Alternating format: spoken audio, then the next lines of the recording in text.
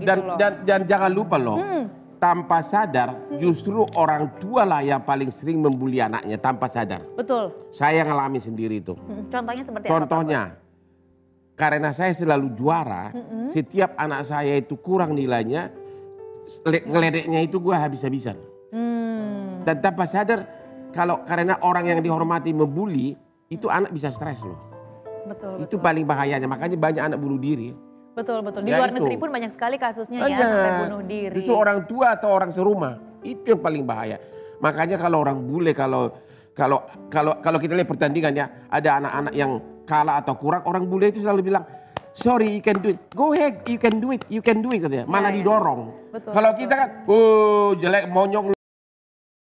Iya betul betul betul. Tanpa sadar itu itu sangat mempengaruhi. mempengaruhi jiwa anak. Betul. Dari situlah saya tahu ini karena saya belajar tiga anak saya sudah jadi semua lulusan Hmm. Fakultas Hukum Inggris, tapi itu prosesnya panjang. Gaya gue yang urakan itu sering menyakitin anak. Hmm. Coba andaikan gue sekarang bikin anak lagi, gue akan lebih dewasa. Cuma bikinnya sama siapa? Sama siapa kayak Pak Bos.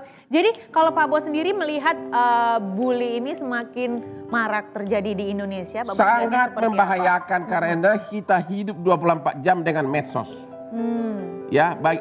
Soalnya gini, bully itu kalau pem- kalau kita penindasan fisik kan langsung ada buktinya. betul. Orang tua bisa langsung lihat misalnya luka. Kalau penindasan mental, kadang-kadang di, ditindas sekarang, akibatnya baru seminggu lagi, baru sebulan lagi. Itulah makanya perlu kedekatan orang tua sama anak. Oke. Dan juga harus tahu kalau dia ada kelainan dengan dia punya medsos, harus diamati kenapa. Gitu. Betul. Nah kalau kayak gitu bisa dipenjarakan nggak sih Pak Bos? Misalkan ada buktinya gitu. Begini, bully itu karena tidak langsung akibatnya susah mencari minimum dua alat bukti. Minimal dua ya. Ya itu susah karena kan kalau dibully sekarang, lu bego lo, eh meninggal sebulan lagi. Siapa yang disalahin? Betul betul. betul. Di situlah, memang di Undang-Undang Pelindungan Anak ada pasal mengatakan penindasan secara non non kekerasan psikis. Itu itu pidana juga. Ada pem- pidana juga. Ya ada lima tahun penjara. Oke. Cuma pembuktiannya susah.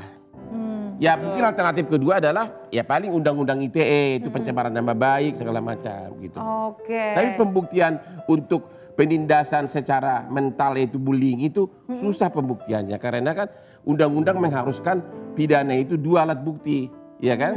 Dia, kalau ba- kita baru ledekin itu anak sekarang, tapi dia stres di kamarnya sembunyi sebulan lagi baru mati, kan ada iya. susah mengkaitkan meninggal sebulan lagi dengan met apa ledekan di SMS sekarang gitu Sebulan kan? yang lalu Karena gitu ya. sebulan yang lalu. Betul. Kalau pembunuhan kan tusuk langsung ada darah terbukti kan? Iya, iya, Situ iya. bedanya. Betul. Oke. Jadi peranan dari KPAI sangat sangat besar di sini untuk menyebarluaskan cara mengatasi bullying tersebut atau penindasan secara non fisik gitu loh. Deh, jadi memang peranan orang tua, peranan guru di lingkungan anak-anak itu sangat benar, penting ya. untuk bagaimana mengedukasi anak-anak kita supaya tidak jadi pembuli dan juga tidak jadi korban bully. Dan agar orang tua selalu memonitor pemakaian med- dunia medsos oleh si anak. Betul. Agar dimonitor.